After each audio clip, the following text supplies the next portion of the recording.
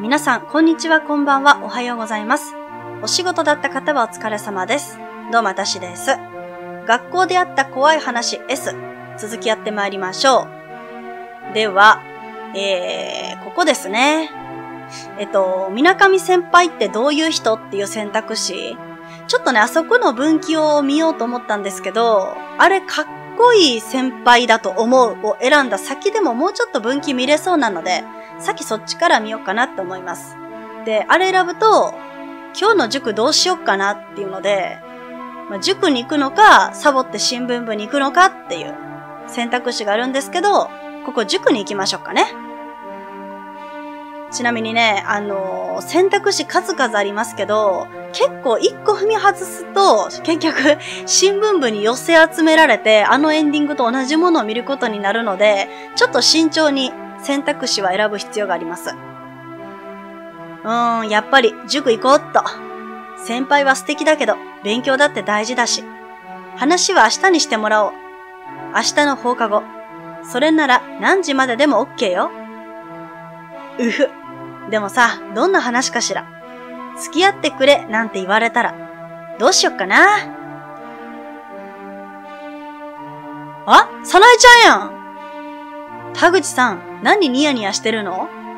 あ、さなえ先輩だあの人、水上先輩と付き合ってるって噂があるのよね。あ、えっと、え、その世界線なんかな？本当かしら？だったらやだなどうしよう。許せないわ。許せないと言われましてもって感じやんな。ええ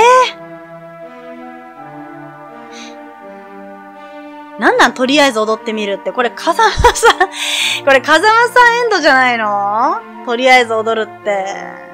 踊る？バット回収する？これ風間さんエンドやん。さなえちゃんであんのこの選択肢。とりあえず踊ってみようかな。こう見えてもちょっと自信があるんだから。幼稚園のお遊戯で褒められたこともあったのよ。そうね。もうすぐ夏だから、ここはやっぱりあれかなサンバ？飲めや歌えや踊れや騒げ。毎年お祭りで踊ってる盆、盆踊りってこんな歌詞ある？お囃子だってバッチリなんだから。足運びだって達人並みでしょ？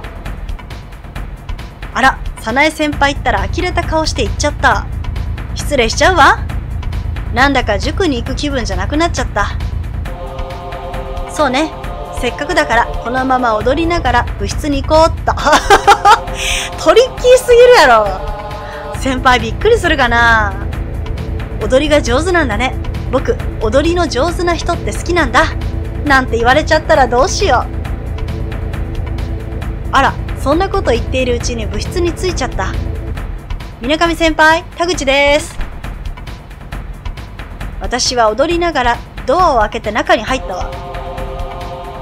先輩は最初びっくりしたようだったけど、すぐに真剣な顔つきになって、じっと私の踊りを見つめてた。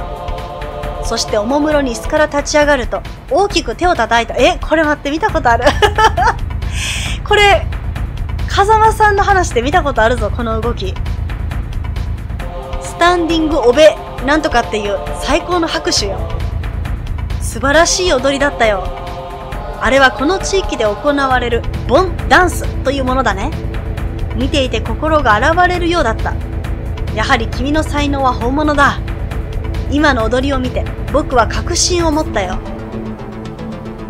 そう言いながら先輩は制服のポケットからボールペンのようなものを取り出したの。うわ 実は僕はこの星の人間ではないんだ。遥か彼方のポヒポヒ星からある任務で地球に派遣されてきているんだ。先輩ったら想像力豊かなんだから。これ何やった？銀河なんとか団みたいな。なんか、そういうサーカス団的なやつやったっけ？あれにスカウトされる話になるかなそんな名前の星聞いたこともないけど、先輩の口から出ると実在しているように思えてくるから不思議よね。地球に田口真由美という天才的なダンサーがいると聞いてね。ぜひ君に会いたいと思っていたんだ。いやしかし想像以上に感動的なダンスだった。そのことを確認した時点で僕の任務は一つ終わった。すぐに次の任務へ移ろう。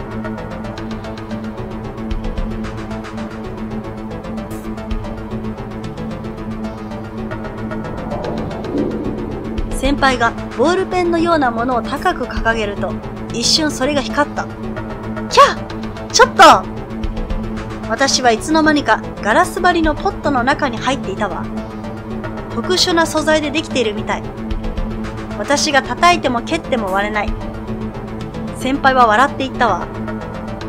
我々のライバルであるスンバラリア星という星には宇宙でも有名なスンバラリアダンサーズっていう スンバラリアダンサーズか。舞踏家の集団があるんだ。今度我がポヒポヒ星でもそれに対抗する舞踏団ポヒポヒダンスエンジェルズを結成することになったのさ。君をスカウトし、ポヒポヒ星へ連れて帰るのが今度の任務だ。もちろん、遂行させてもらうよ。ちょっと待って。勝手に決めないでよ。先輩はボールペンもどきに向かっていったわ。こちら地球の派遣部隊、噂の天才ダンサーをポヒポヒ星へ転送する。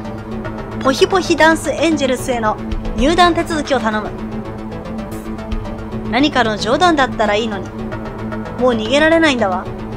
水上先輩は微笑みながら手を振っているわ。そして、転送白い光に包まれて、ポヒポヒ星へと旅立つのね。ポヒポヒダンスエンジェルスか。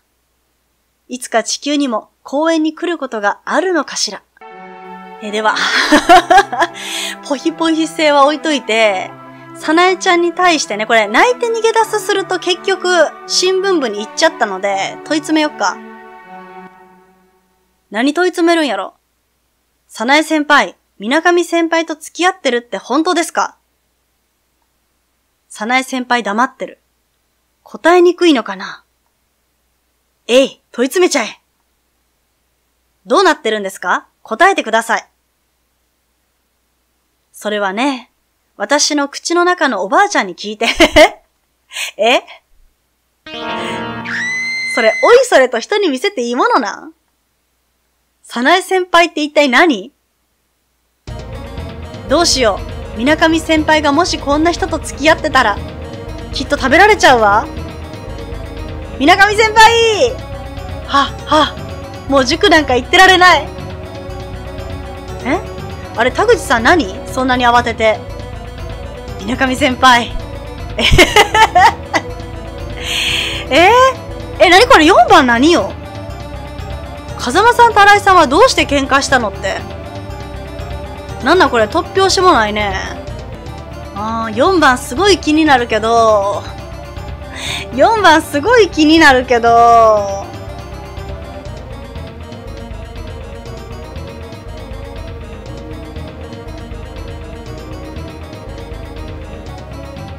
あー、4番すっごい気になるけどさ。いや、めちゃめちゃ気になるけど、どうしよう。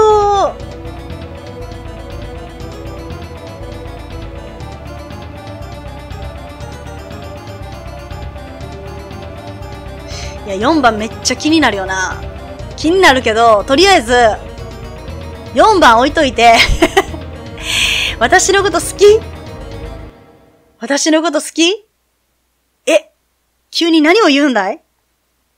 みなかみ先輩慌ててる。かわいい私、先輩のこと好きなんです。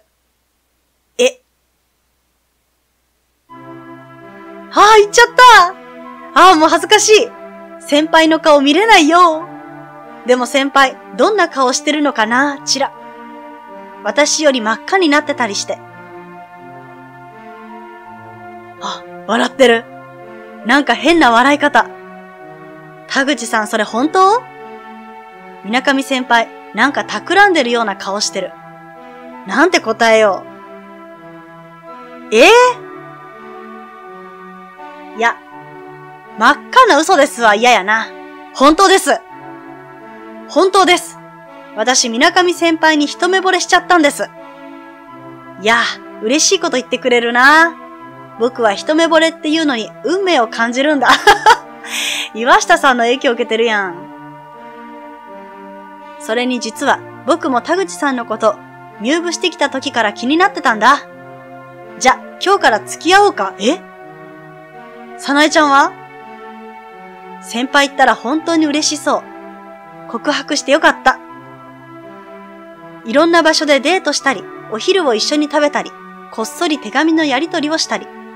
ずーっと憧れてたんだ。あとは、そうそう、真夜中のラブコール。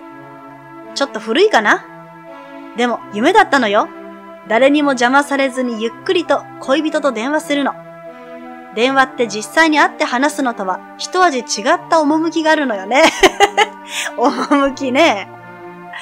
私専用の電話をつけてもらう約束で猛勉強をしてこの学校に来たんだもん。え？そうだ すごいな、お母さんたち。そんなに、そんな条件飲んででも入ってほしいぐらいの学校なんかな？その夢がこんなに早く叶うなんて。でも、この学校で付き合っていくのは本当に大変だからね。いろんな障害を避けながらでないと、命を落としかねないんだ。先輩は真剣な顔をしている。この学校って恋愛交際禁止してたっけ？結構公認カップルが多いんだけど。そうだな。禁止事項のいくつかを挙げると、まず、桜の下でのデートは避けた方がいいな。それから、相合い傘もちょっと危険だ。あとは、まだあるんですか？そうだよ。これ以外にもたくさんあるけど。そうだ、電話だまさか電話も禁止なんですか？やだ、そんなの。ずっと憧れてたのに。うーん、電話は一番危険なんだ。特に学校の裏門の脇に置いてある公衆電話は絶対に使っちゃいけないよ。これは別に恋人たちに限られたことじゃないんだけど、あの電話は悪魔の電話なんだ。悪魔の電話ですって？いやー、これどうなんやろう。怖がっとくか。いや、恋は盲目やから、みなかみくんのこと好きすぎたら、これも一旦信じてる感じにしちゃうでしょ。そ、それって本当なんですか？私震えちゃうほど怖いんですけど。前に友達から聞いたことがあるわ。この学校の生徒が電話ボックスで殺された事件があるって。女生徒が変死体で発見されたとか。犯人は捕まっていないみたいだけど、もしかしてその電話ボックスっていうのが悪魔の電話なんじゃ。先輩はニヤニヤ笑いながら私を見ている。こんな笑い方する人だったかな大丈夫だよ。僕が守ってあげるから。そうだ。僕がとっても霊剣新たかなお守りを譲ってあげよう。大事な恋人の君に何かあっては大変だからね。そう言って、水上先輩は何かをポケットから取り出したわ。それは50円くらいでよく売っているような消しゴムだった。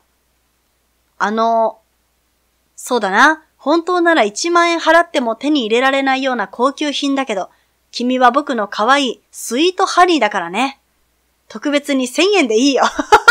風間イズムやん。う先輩ったらなんだか危ない人かも。その時よ。ちょっと風間さんやめてくださいよ。先輩、先輩は意味のわからないことを口走り始めたの。なんだよ、これくらいのことで。そうそう、僕たちは祝福してるんですよ。先輩の口からは次々といろんな人の声が聞こえてきたわ。やだ、なんだか本当に危ない人みたい。みなかみ、俺たちを出し抜こうったってそうはいかないぞ。ひどいのね、みなかみくん。年上が好きなんじゃなかったの。なんだか頭が変になりそう。私はふらふらと立ち上がるとドアへ歩いたわ。田口さん。すみません先輩。私なんだか疲れちゃって。今日のことは忘れさせてくださいね。それだけ言って部室を出たの。それでもしばらく歩けなくって部室のドアに寄りかかっていたわ。するとね、ああ、だらしねえな。また振られちまって。気にすることはないよ。親友のこの僕が一緒にいるじゃないか。そうよ、水上くん好みの年上のこの私がいるでしょやだ、私たち2年前から年取ってないじゃん。あら、同学年でも私は別に構わないわ。いや、それはどうでしょう。水上くんはちゃんと成長しているようですし、我々も年を取っているのかもしれませんよ。うーん、やっぱりいろんな声が聞こえる。もう皆さん、少しは静かにしてくださいよ。皆さんのせいで僕はすっかり変人扱いじゃないですか。これは水上先輩の声ね。はあ、嫌だな。そんな細かいこと気にしてたら僕みたいに立派な人間になれないよ。そうよ。あの七不思議の会のせいで私たちこんな体になっちゃったんだからね。いいじゃないですか、寂しくなくて。白井先生の実験にこんな副作用があったなんてね。水上先輩たちは私の想像を超えた世界に生きているんだわ。ついていけない私はきっぱり先輩のことは忘れよう。さーて、家に帰ったら退部届書かなくっちゃ。白井先生のやつってあれかな？なんか融合するしないみたいな話あったと思うんやけど、あれで私が他の人たちみんな吸収しちゃって、完全体みたいなこと？ちょっとどんな話やったか詳しく、詳細に思い出せないんやけど、なんかそういう話やった気がするな。では、ここのね、分岐見ましょうか。バカにするのもいい加減にしてください。私がそういう話苦手なの知ってて、脅かそうとしてるんでしょう。先輩ったらそんな意地悪な人だったんですね。さよなら。さっきの話は全部なかったことにしてください。そう言って私は部室を飛び出したわ。先輩はびっくりして何も言えなかったみたい。だって先輩が悪いのよ。悪魔の電話なんて言うから。私、正体がバレたのかと思ったじゃない。せっかく好みのタイプを見つけたのに、魂を取り損ねちゃった。ああ、しょうがない。一旦地獄に戻って作戦の練り直しだわ。今度は失敗しないわよ。でも、これで田口真由美って生徒が学校から消えることになるわ。少しは責任を感じるかしら。変な学校だったけど、楽に仕事できる、いい場所だったな。消えたい女性、消えた女性となんて不思議が増えたりしてね。またいつか遊びに行ってみようっと。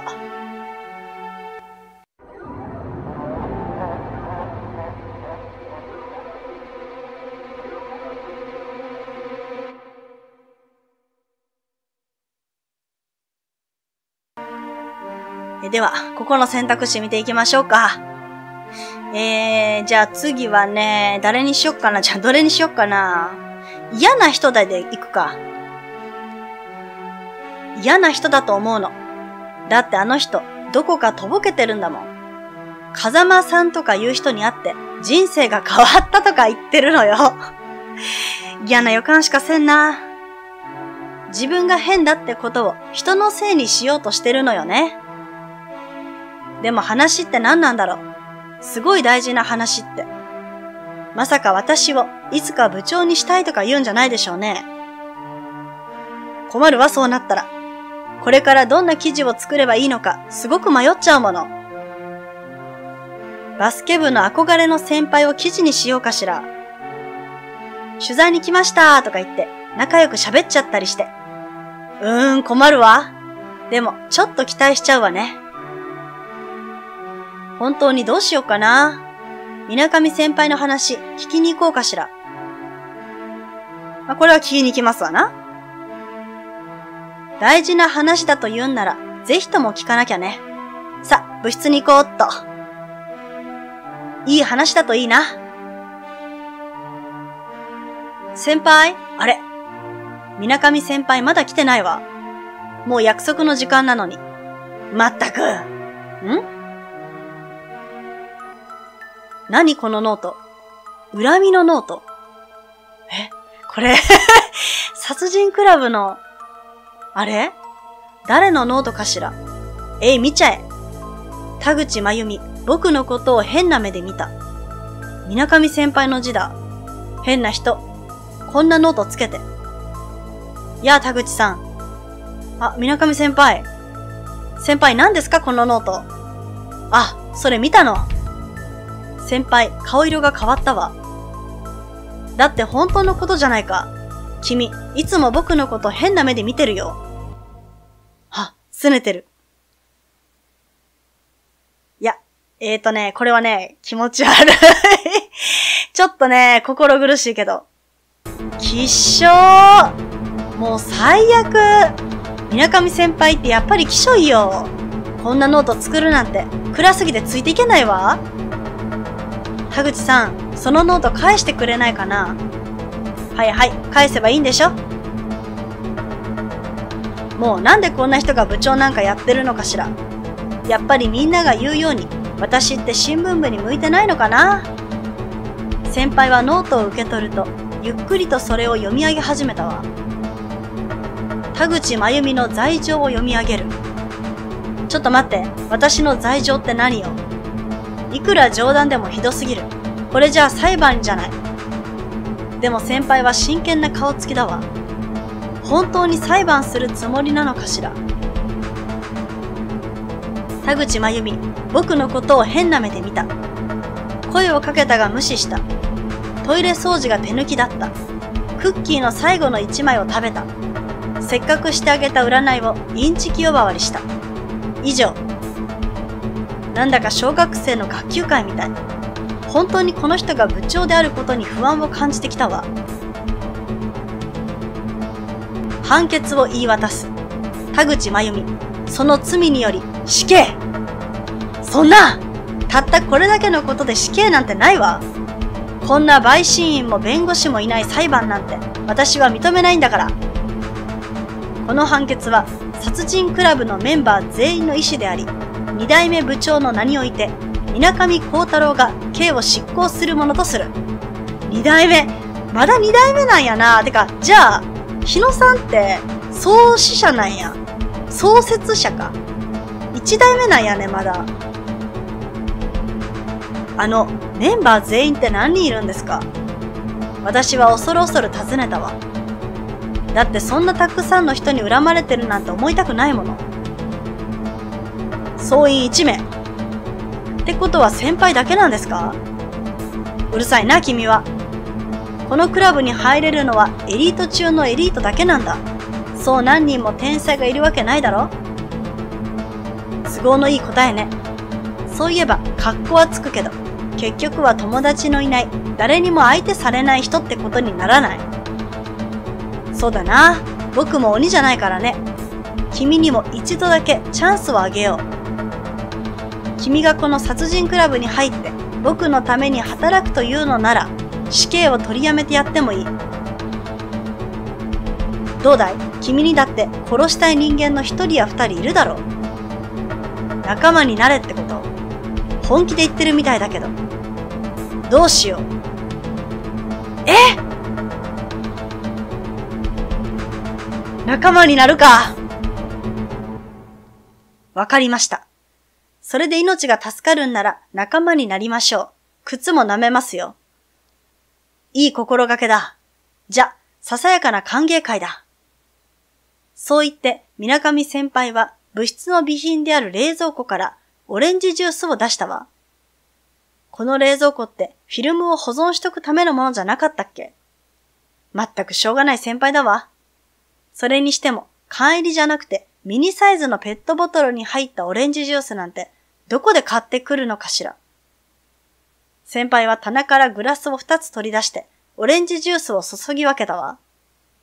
乾杯グラスを高く掲げて、先輩が微笑んでる。私も負けないように微笑みを返したわ。悪魔の微笑みを。二人は一気にグラスを飲み干したわ。よく考えたら、オレンジジュースだったのよね。口の中が甘ったるくなっちゃった。それは先輩も同じね。ちょっと雰囲気に酔っちゃってたから。ところで、田口の殺したやつってどんなやつなんだい？知りたいんですか？最低なやつですよ。暗くって根性曲がりで、被害妄想に走りやすくて、そのくせ自分は天才だって思ってるんです。へえ、とんでもないやつだね。そんなやつを生かしておいちゃいけないな。よし、僕も手伝おう。可愛い後輩のためだ。本当は悪人になんてなれない人なのね。かわいそうな先輩。先輩にそう言ってもらえて嬉しいです。礼はいいよ、言ったろ可愛い後輩のためだって。で、そいつの名は？水上幸太郎。な、うぐが本当にいろんなものが隠してあるんだもの。びっくりしちゃったわ。まさか毒薬まであるなんてね。先輩、安心してね。先輩の後はこの私がちゃんと継いであげる。それが私のお兄ちゃんの意志でもあるから。お兄ちゃん？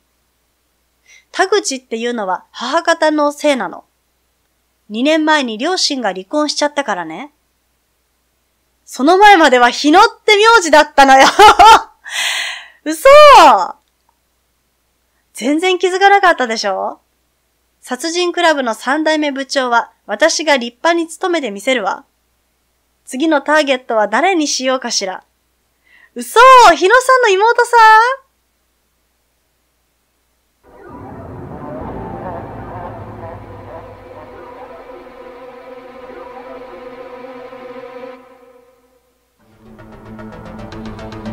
では、ここの選択肢、見ましょう。殺人クラブの仲間になりませんかって言われるここですね。死んだって仲間になんかならないと答えます。死んだって仲間になんかなりません。絶対にお断りします。全く冗談じゃないわ。そうかいそれは残念だ。その瞬間、私の背中に鋭い痛みが走ったわ。カランと音がして、私の足元に何かが転がった。それは血まみれのアイスピックだったわ。これで刺されたのね。でも誰が？先輩は私の前にいて一歩も動いてない。途中で誰かが出入りしたわけでもないから、最初からこの部屋に水上先輩以外の誰かが隠れていたってこと。どうしたんだい？顔色が悪いよ。苦しそうだね。もう助からないと思うよ。友達なら人思いに楽にしてあげるところだけど、君は嫌だと断ったんだ。最後まで苦しみを味わってくれたまえ。じゃ、僕は先に失礼するよ。そう言うと、先輩は椅子から立ち上がって私を見下ろしたわ。もう体が痺れて手足を動かすこともできない。私、刺されもう声も出ない私を見て先輩は嬉しそうに笑ったわ。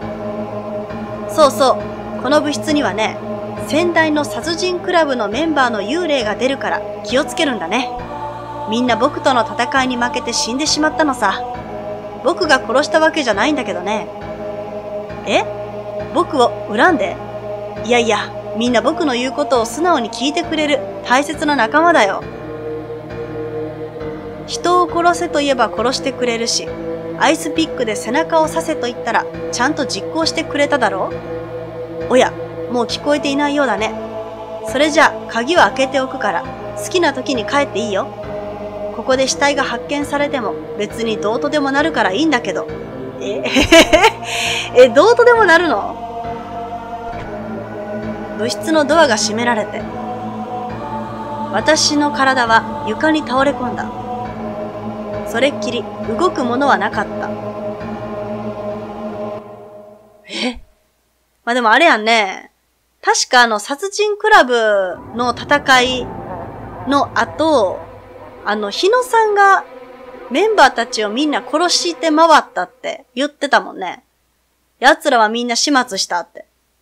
その幽霊たちが、つまり、庄司とか岩下さんとかの幽霊が今も部室にいて、今は二代目の私の言うことを聞いてくれてるってことえでは、次の分岐ですね。これね、変な人だと思うの、もう少し話変わるみたいなんですけど、これあの、すごく遠回りして結局、新聞部に7人集めて話をしようかっていうところに持っていかれるだけだったので、変な人だと思うのはもう飛ばしましょうか。ほとんど内容は一緒でしたね。なので、最後は、これね、不思議な人だと思うの。不思議な人だと思うの。なんかさ、どんなことがあっても動じないって感じ。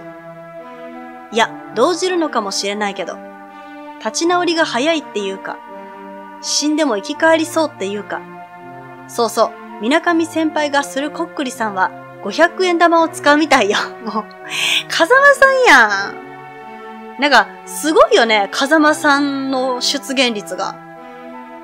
それだと本物の高級霊のこっくりさんが呼べるんですって。ちょっとやってもらおうかしら。500円玉持っていこうっと。さてと、そろそろ行かないと約束の時間に遅れちゃうわ。なんだか廊下が薄暗い。そんなに遅い時間じゃないのに。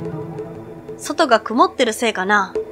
この学校って独特の怪しい雰囲気を持ってるけど、こういう日は特にそれを強く感じるの。原因不明の事件や事故が多いのよね。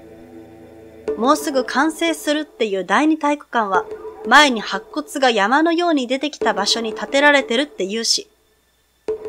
それにしてもこの廊下ってこんなに長かったっけ？ちっとも進んでないわ。あれ？あんなところに誰か座り込んでる。女の子みたいだけど。どうしよう。声をかけてみようか。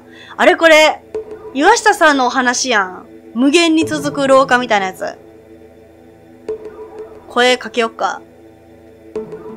あの、どうかしたんですか？声をかけちゃった。放っておけないのよね、なんとなく。どうやら女の子は泣いていたみたい。声をかけると顔を覆う手の隙間からぎょろりとした目を二つ覗かせて私を見上げたわ。そして、なんだ女か。その子は吐き捨てるようにそれだけ言うと、スーッと消えてしまった。何よ今の態度。怖いって言うより頭に来ちゃった。生まれて初めて見た幽霊がこれなんて、なんかムカつくわね。もうこうなったら水上先輩に八つ当たりしてやる。さ、新聞部に着いたわ。失礼しまーす。私ったらノックもしないでドアを開けちゃった。すると、一斉に14個の目が私に向けられた。14個 ?12 個じゃなくて？部室の真ん中に置かれた大きなテーブルを囲むようにして7人の男女が座っている。みんなびっくりしたような顔で私をじろじろ見ているわ。水上先輩の他は全然知らない人ばっかり。てっきり先輩しかいないと思ってたのに。えっと、7人目の方ですね。どうぞ、こちらにおかけください。やだ、水上先輩ったらかしこまっちゃって。まるで初めて会う人みたいな態度だわ。それにしてもこの人たち何してるのかしら。あの、水上先輩、用事って何ですか？それに7人目って一体。え？あの先輩って。水上先輩は怪げな顔で私を見ている。本当に他人を見る目だわ。水上も隅に置けないな。しっかりこんな可愛い彼女がいるんだから。聞きましたか？先輩って呼んでましたよ。ということは、中学の後輩か。どれどれ、なかなかの可愛い子ちゃんじゃないか。よーし、特別に僕がこっくりさんで占ってあげよう。大丈夫。僕が呼ぶのは高級霊のこっくりさんだからね。ひどいよ、みなかみくん。親友の僕にも内緒にしてるなんて。ふーん、あなたがみなかみくんの彼女大したことないのね。ねえねえ、どこで知り合ったの？付き合うようになったきっかけは？他の6人はどうやら私を先輩の恋人と勘違いしたみたい。口々に生やし立ててるわ。皆さんちょっと待ってくださいよ。先輩は席から立ち上がると、騒ぎ立てる6人を一括したわ。かっこいい。好きになってしまいそう。ねえ君。はい。いけないいけない。のぼせてる場合じゃなかった。悪いんだけど、人違いじゃないかな。確かに僕は水上だけど、君のような知り合いはいないし、第一、僕はまだ一年で先輩なんて呼ばれる覚えはないんだ。ええー、そんなバカな。そういえば先輩、少し若く見えるかも。ここは先輩が一年生の時私ったらタイムスリップしちゃったのかしら。キャーかっこいい映画みたいでも、こんなこと言って信じてもらえるのかしら。いくら過去でも、水上先輩に変な目で見られるのは悲しいわ。もしかして日野先輩の知り合いなのかな制服を着てるところを見ると、この学校の生徒みたいだし。さあ困った。なんて返事しよう。あ私、未来から来ました。違うんです。実は私、未来から来たんです。あんまりにも突然な発言だけど、きっと水上先輩なら信じてくれるわ。うんうん、それで？あ、ひどい。先輩ったら全く信じてないわ。未来から来ました。本当に未来から来たんですってば。そっか。じゃ、その未来のことを少し聞かせてもらおうか。世界大戦は起こったの。そこまでの未来のこと言ってないもんな。たった2年やもん。オゾンホールは？宇宙旅行の経験は？もう、どう言ったら信用してもらえるのかしら。うん、私の時代にあってここにはないもの。そうだ。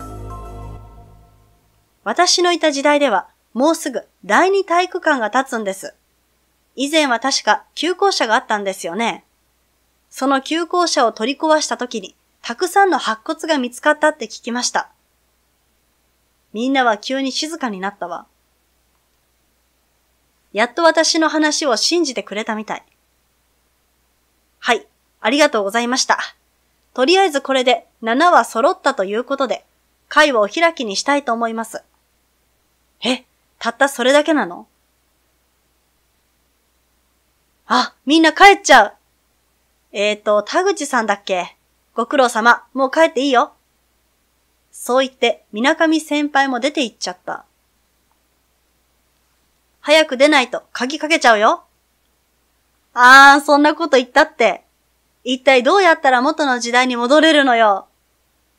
終わり 嘘すごいな終わり方。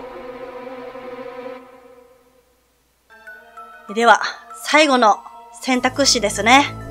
これが最後になっていいのかどうか まあ、あの、未来から来たって話を信じてもらえなかったので、適当にごまかしましょうか。やだ、みんなちっともジョークが通じないんだから、せっかく脅かし役を任されてたのに、あははははちょっと苦しかったかな？じゃあ、やっぱり7人目の方なんだ。もう日野さんも人が悪いよ。こんないたずらまで仕組んでるんだから。うまくごまかせたみたいね。それにしても7人目っていうのがわからないわ。何の順番なんだろう。それじゃ最後の話をお願いしますよ。みんな待っていたんですから。ちょっとやそっとの怖い話じゃ納得してくれませんからね。怖い話じゃあこれが噂に聞く七不思議なんだわ。この学校でも行われていたのね。しかも先輩が関係しているなんて。やっぱり不思議な人だわ。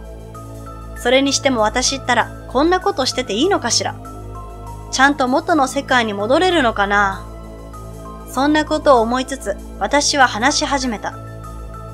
それじゃあこれはたった今私が体験したばかりの話なんですが、本当なら語られることのなかった7話目が始まった。